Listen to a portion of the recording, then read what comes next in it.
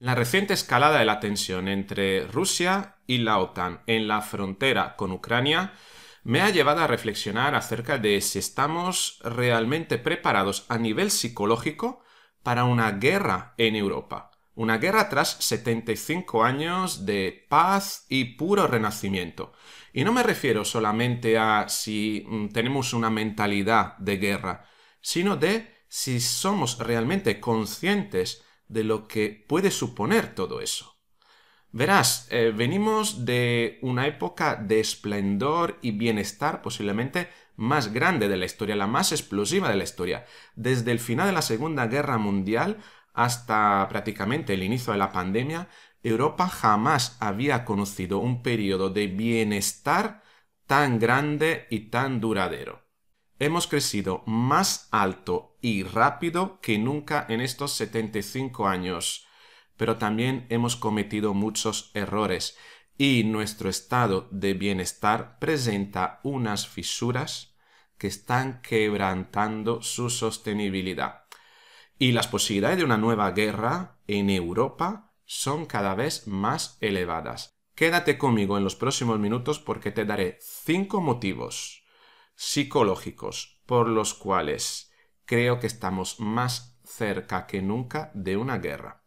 Y también cinco claves para entender que si tal vez no estamos todavía preparados para una guerra, puede que estemos más cerca que nunca debido precisamente a una serie de datos psicológicos y un análisis comportamental que yo he realizado y que te detallaré precisamente en los próximos minutos.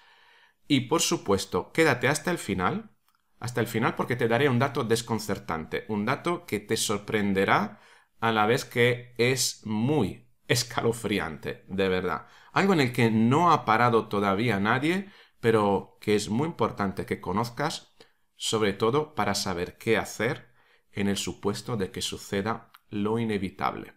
Venga, vamos con el vídeo.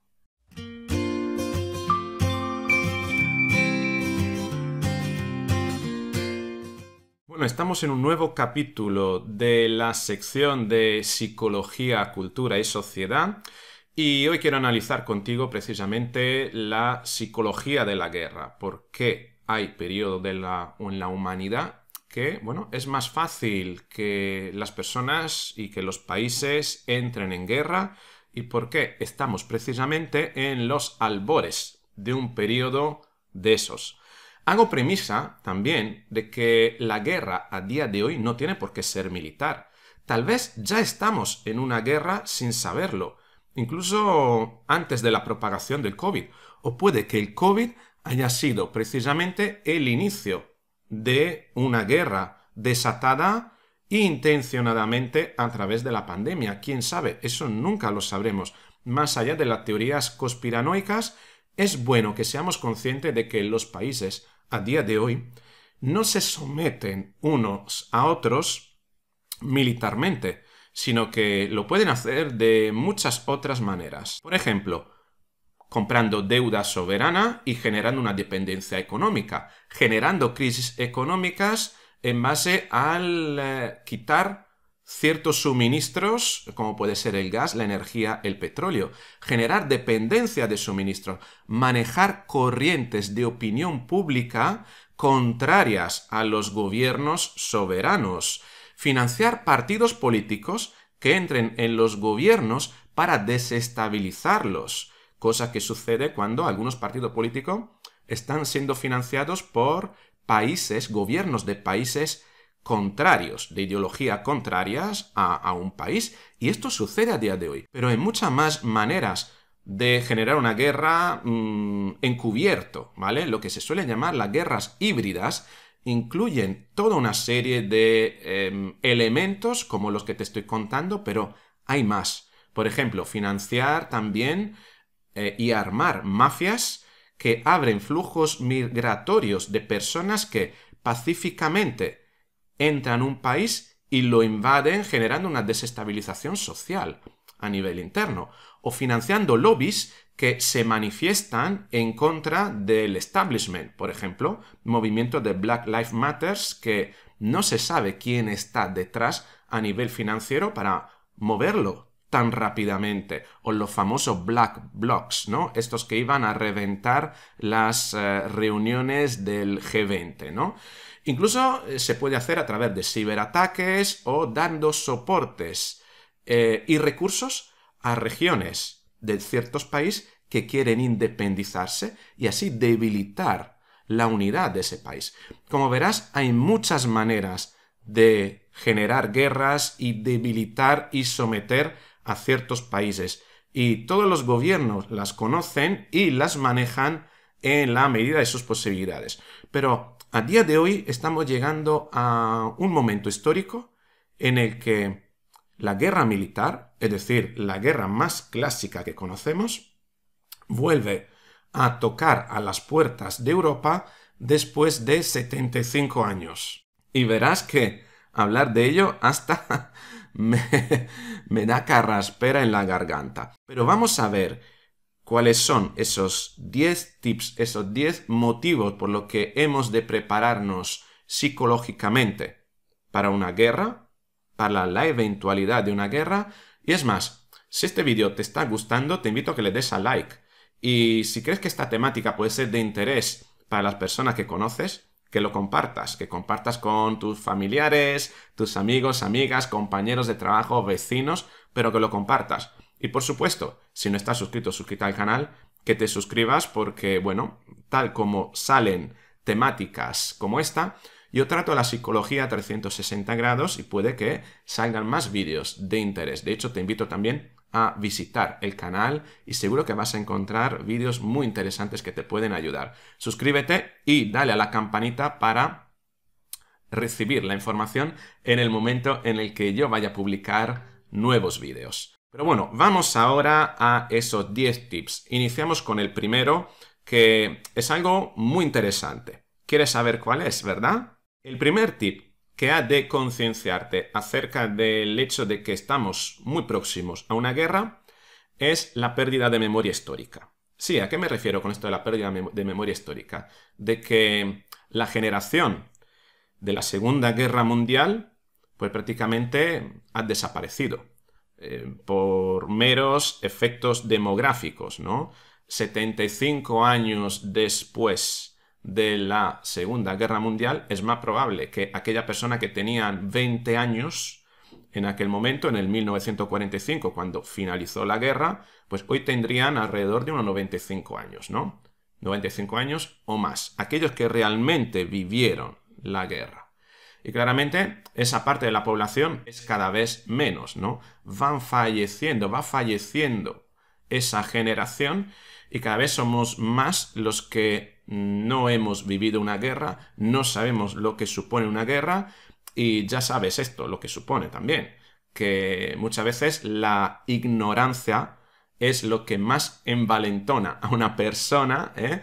Y hace que mm, tenga una serie de comportamientos que si fuera más consciente de lo que suponen, pues posiblemente no tendrían. El segundo motivo psicológico es que nos hemos desensibilizado de las guerras, ¿no? Ya estamos acostumbrados a muchas microguerras, desde la guerra de Golfo del 91, que fue la primera gran guerra después eh, de la Segunda Guerra Mundial, y donde participó una coalición de estados que hasta el momento había vivido en paz, ¿no? Desde precisamente el, cierre de la Segunda Guerra Mundial, desde 1945, em, estamos acostumbrados a ver microguerras alrededor del mundo, a participar en acciones que supuestamente son humanitarias, ¿no? Y más aún ahora, si cabe, em, tenemos la posibilidad de que estas temáticas de la guerra, si no nos interesan, podemos cambiar de canal. En el 1991 mm, yo te puedo decir que yo vivía en Italia y te puedo decir que la televisión tenía seis canales, ¿no? Em, los telediarios pertenecían básicamente a la televisión de Estado. Inició, inició a partir de ahí toda una serie de eh, innovación que llevó a tener telediarios también en otras cadenas. Pero a día de hoy, si realmente no te interesa el tema de la guerra, puedes cambiar de canal, abrir el Netflix ¿no? Y bueno, este Netflix es un buen analgésico, ¿no? Para la conciencia humana y hace que, bueno, al fin y al cabo, la guerra mientras a ti no te toque personalmente, bueno, puede estar incluso en el país de al lado y tú seguirás haciendo tu vida, ¿no? Por tanto, esa desensibilización, ese estar acostumbrado a tantas microguerras puede hacernos pensar que, bueno, es una de las tantas más, aunque sí es cierto que es la primera que tenemos en Europa después de 75 años. Dato en el que tal vez la gran mayoría no repara. El tercer elemento psicológico tiene que ver también con la desensibilización pero no una desensibilización de la guerra, sino una desensibilización de la muerte y de las noticias sobre las muertes. Llevamos, verás, llevamos dos años, dos, años viendo en la televisión y recibiendo información acerca de cantidades y cantidades de personas que mueren por coronavirus. Dependiendo de los distintos picos de la pandemia, hemos visto durante largos periodos cómo morían cada día por COVID el equivalente a uno, dos o tres aviones llenos de pasajeros, ¿no? Entonces, claro, si nos hemos acostumbrado tanto a tantos muertos cada día por una pandemia, y nos hemos acostumbrado incluso a tantos muertos injustamente en familias que han sido afectadas, ¿no? por la pandemia y por el coronavirus, ¿por qué entonces no vivir eso debido a una guerra? Quiero decir que estamos más preparados que nunca para afrontar este tipo de noticias de grandes personas, grandes números de personas que, que mueren debido a una causa. Y que esto, al igual que ha sido el coronavirus, puede llevarnos a desensibilizarnos sobre la eventualidad que la causa sea una guerra. ¿Por qué no? Total, que dudo, dudo mucho de que esta vez veamos manifestaciones en las calles como sucedió con la Segunda Guerra de Irak, cuando el gobierno español em, se introdujo en la guerra y, apoyó la invasión de eh, Irak, pese a los bulos eh, y a las fake news institucionales del gobierno de Estados Unidos que no llevó esa guerra, como todos sabemos, a base de mentiras. El cuarto elemento psicológico es que nuestra sociedad está cada vez más polarizada.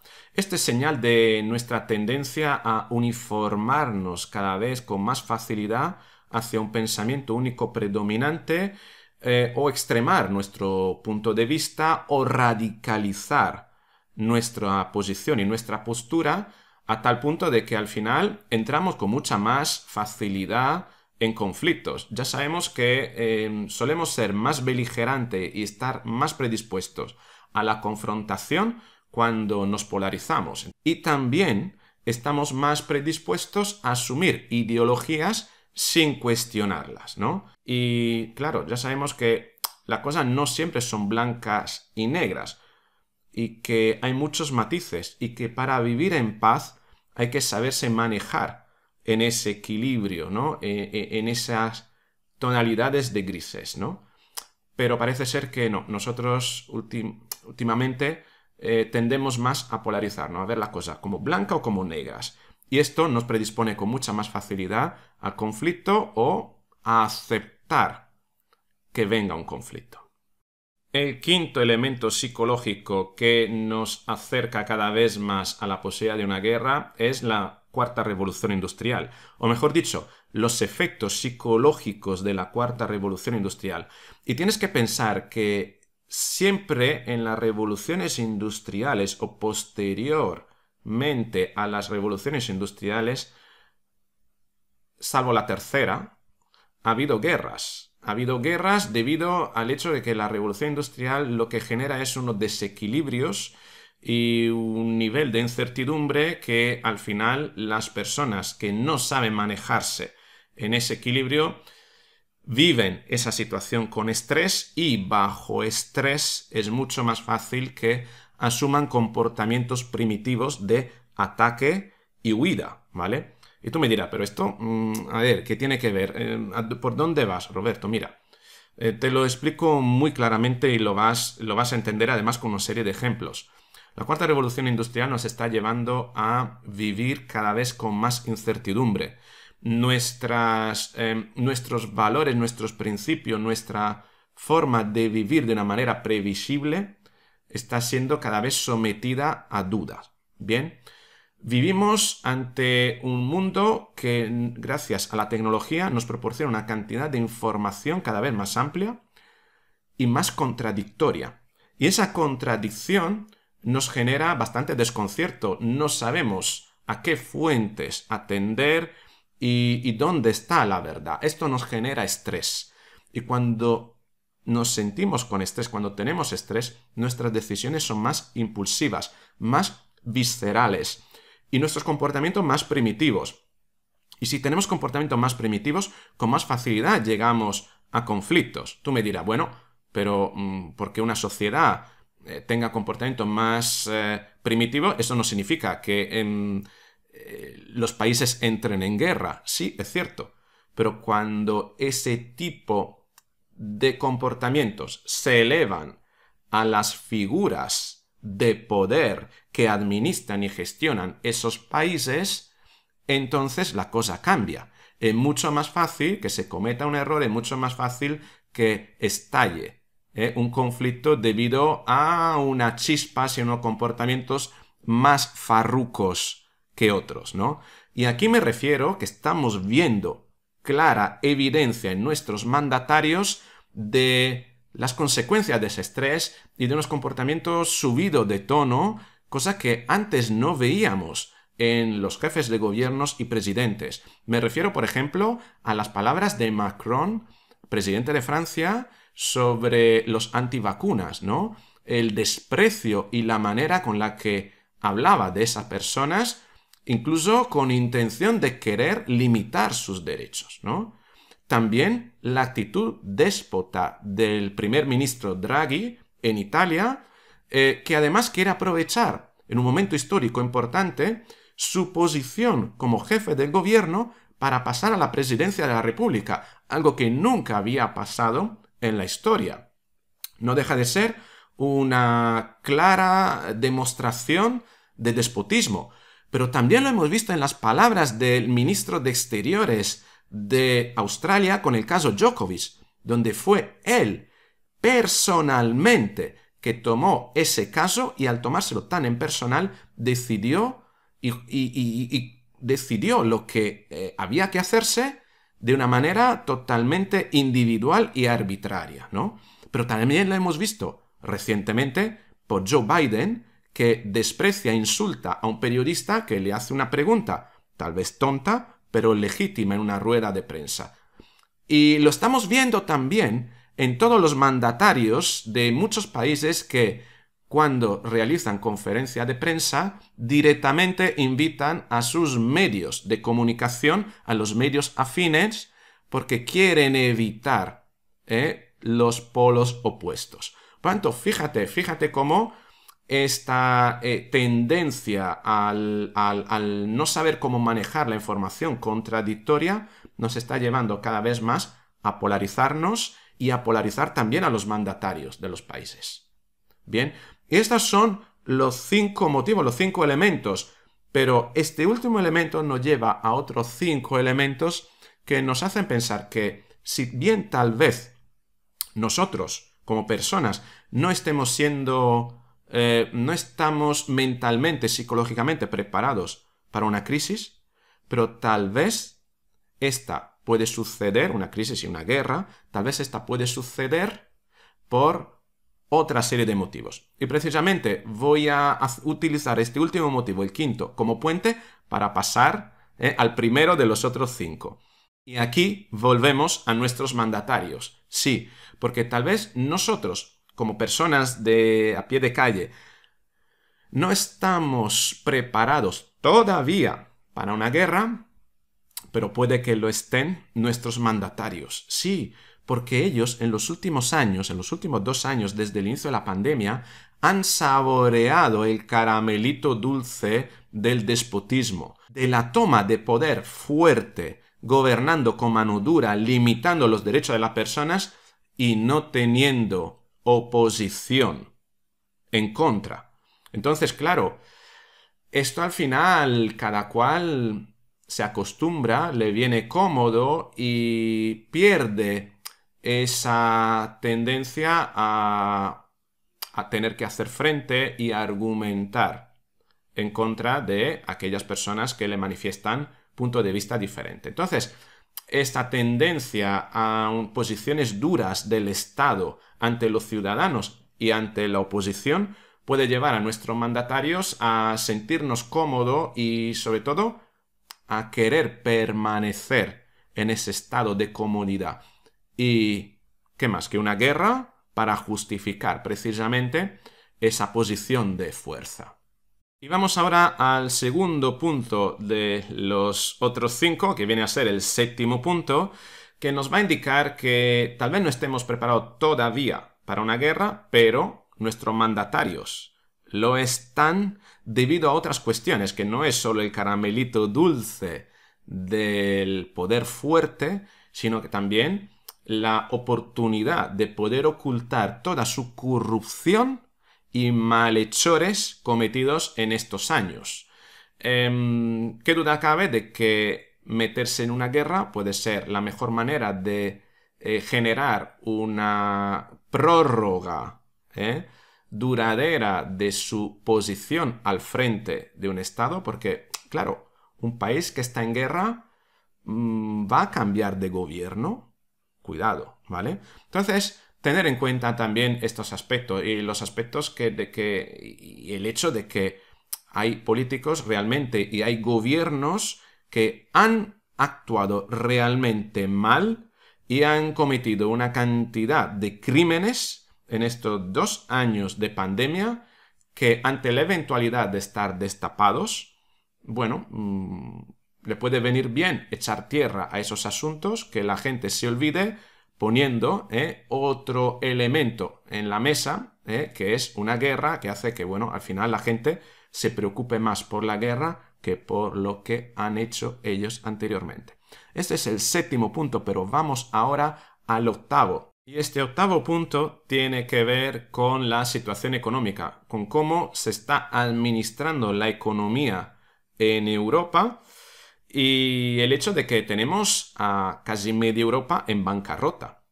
Eh, ¿Qué duda cabe de que los precios están creciendo? La inflación puede estar desbocada y no sabemos hasta qué punto puede llegar. La presión fiscal cada vez mayor está haciendo que mm, nosotros incluso como sociedad eh, podemos llegar a un momento en el que sintamos que nuestro poder adquisitivo eh, se está perdiendo, eh, estamos perdiendo estatus y podría haber algún país, algún país que ante la eventualidad de una guerra y un empobrecimiento tan grande de la población pueda tener una condición de que una guerra no le vaya tan mal, sino que no empeore tanto las cosas, porque cuando la cosa ya es tan mal, bueno, lo único que puedes hacer es luchar para precisamente mejorarlas y que a lo mejor una guerra podría ser un buen pretexto para dar a la población la esperanza de algo mejor. Y esto nos lleva al noveno, noveno punto, sí, porque tal vez todavía no estemos preparados para la guerra, pero puede que lo necesite nuestro estado de bienestar para mantenerse. En definitiva, con los países tan endeudados y al borde de la bancarrota, bueno, es posible que una guerra venga bien para anexar otros territorios con nuevos recursos. El gas natural y el gasducto que pasa por Ucrania no estaría mal como opción para, en fin, restablecer unos equilibrios, ¿no? Y, y bueno, colmar esa deuda que no podemos afrontar realmente pagándola con nuestros propios medios. ¿Quién sabe?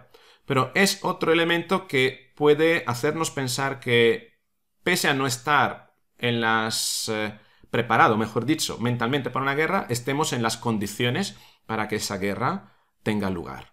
Y ahora vamos al décimo punto, décimo punto, pero por favor, no te vayas porque tengo un punto extra que es el dato desconcertante que te voy a dar a continuación.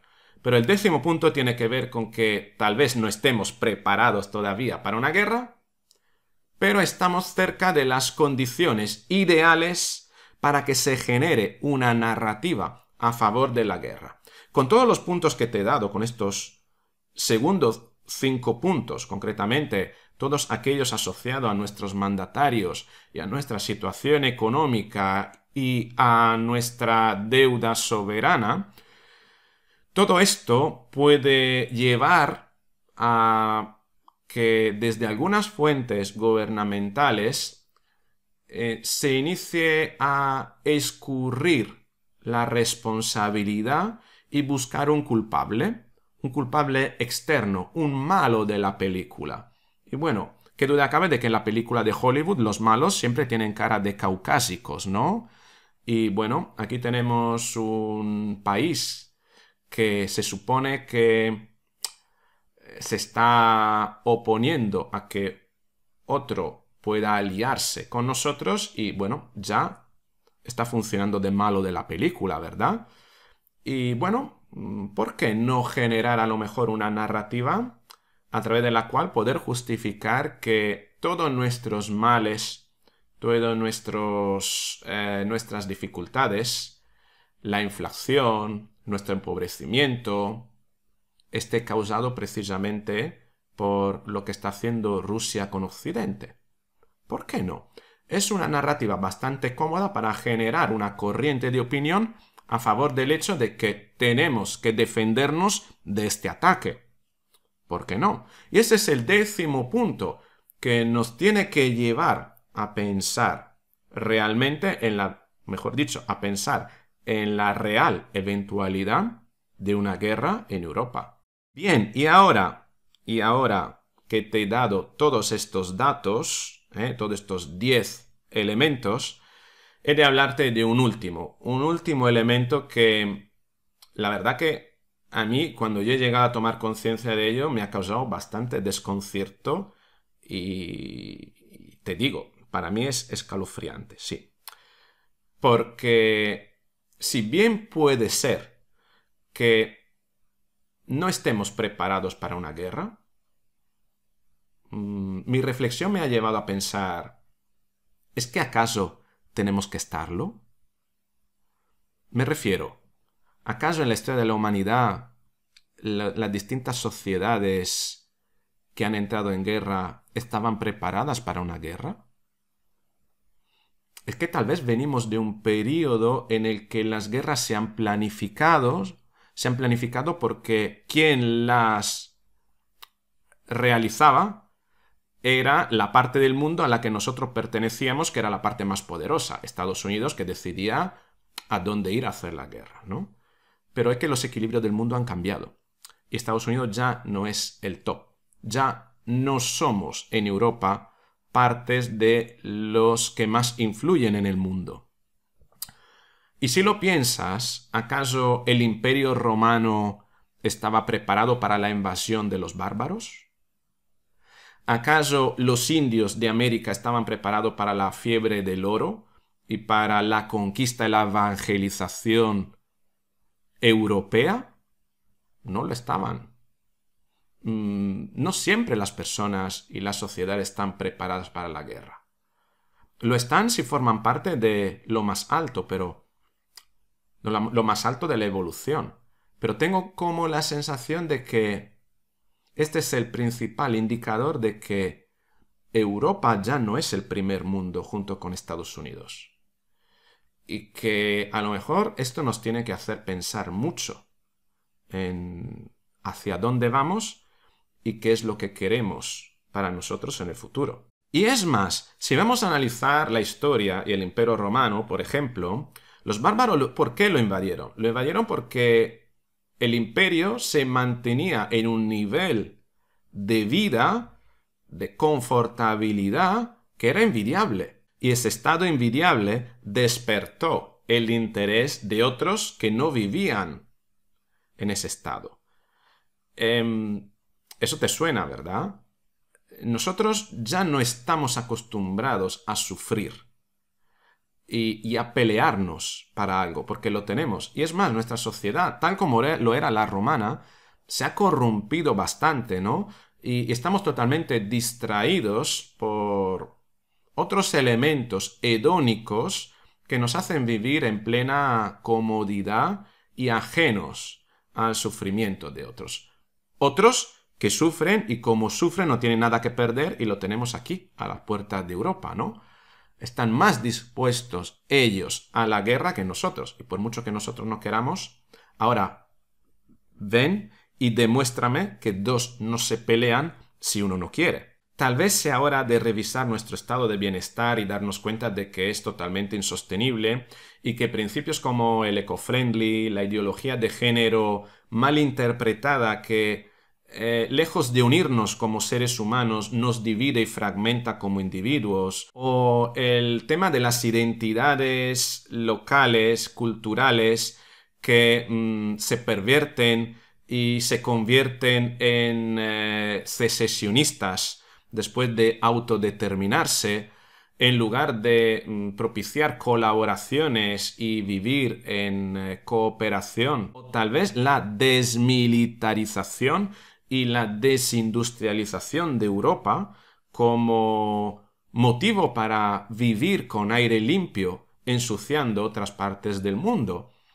Todos estos elementos, junto también con otros, como el no tener una actitud coherente, una actitud firme, una actitud de rigor acerca de los movimientos migratorios y qué hacer con ellos, todo esto puede haber transmitido la dificultad de los europeos de defender aquello que realmente es importante para nosotros, ¿no? Y puede haber transmitido una debilidad estructural de la que otros se quieren aprovechar. ¿Por qué no?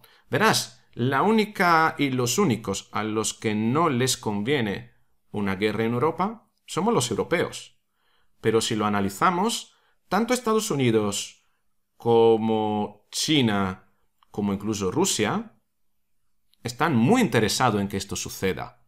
Bueno, Rusia lo sabemos. Rusia porque tiene la oportunidad de reapropiarse progresivamente de todos aquellos territorios que se independizaron durante un proceso, el de la caída de la Unión Soviética, y que puede volver a convertirse nuevamente en un gran imperio después de haber perdido durante 30 años influencia en el mapa geopolítico.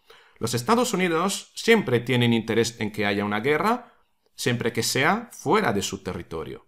Y además les interesa que Europa vuelva a apoyar de una manera más clara sus causas, cosa que en los últimos años no ha sucedido. Recordarás gobiernos europeos que se retiraron de ciertas misiones ciertas guerras en las que se había em, invitado a la participación por parte de Estados Unidos. Bien, y qué hablar de China. Vamos, mm, China con esto solo puede ganar. El único país que está fuera de todo esto, que pero es el país más industrializado y que puede frotarse la mano al ver que Estados Unidos, Rusia, Europa entran en un conflicto y que, bueno, esto les va a debilitar sí o sí, porque van a tener que destinar recursos no tanto al crecimiento económico, sino a pelearse entre ellos. A ver, mm, no me sorprendería si en unos meses China entra en Taiwán y nadie dice nada. En fin, todo estos son los motivos por los cuales creo que estamos psicológicamente cada vez más preparados para una guerra o cada vez más cerca de una guerra aunque no lo queramos. Y ahora, y ahora quiero conocer tu opinión. ¿Crees que estamos realmente tan cerca de una guerra tal como yo te he demostrado en este vídeo? ¿Crees que estamos preparados mentalmente, psicológicamente para ello? ¿Somos realmente conscientes de lo que supone entrar en una guerra y tener una guerra en Europa? ¿Qué cambios vamos a experimentar ante la eventualidad de que hubiera una guerra en Europa? ¿Crees que te afectarían? ¿Nos afectarían como sociedad? ¿Crees que te afectarían a ti personalmente? ¿Qué cambiaría en tu vida si hubiera una guerra en Europa? ¿Crees que deberíamos evitarlo? Y si es que sí, ¿cuáles serían las consecuencias negativas? Y si es que no, ¿puede que haya consecuencias positivas para Europa en tener una guerra? Bueno, cuéntame qué opinas con todo esto. Fíjate cuántas dudas, fíjate cuántas cuestiones pero es bueno que iniciemos a reflexionar acerca de todo esto. Cuéntamelo en los comentarios, te espero en los comentarios. Ojalá ¿eh? me vayas a dar tu punto de vista porque creo que este debate es apasionante y debemos de iniciar a concienciarnos acerca de todo lo que puede suponer este aspecto para nosotros, para nuestro futuro, para el futuro de nuestros hijos. Quiero darte las gracias a ti si has llegado hasta este punto del vídeo. Quiero darte las gracias si me sigues. Quiero dar las gracias especial a todos los que me habéis iniciado a seguir en el último mes. He crecido un 30% en suscriptores bárbaro, algo realmente increíble. Esto me anima a seguir la línea que inicié hace año y medio. Quiero dar la gracia también a todos los suscriptores eh, antiguos y a los incondicionales que siempre veis mis vídeos. Quiero dar la gracia también a la persona que escribís, que comentáis, que me dais like, que compartís todo esto. Así que para mí es un placer. Me animáis a seguir cada día en este proyecto y cada miércoles que yo me pongo a pensar y guionizar el vídeo que quiero crear para que salga el domingo, todos vosotros vais a hacer que lo haga con esa ilusión y con esa sonrisa que me soléis ver en los vídeos. Así que gracias, gracias, gracias. Y por supuesto, si no estás suscrito, si me estás viendo por primera vez, no estás suscrito, suscríbete al canal, suscríbete, dale a la campanita porque te espero en el próximo vídeo. Hasta luego.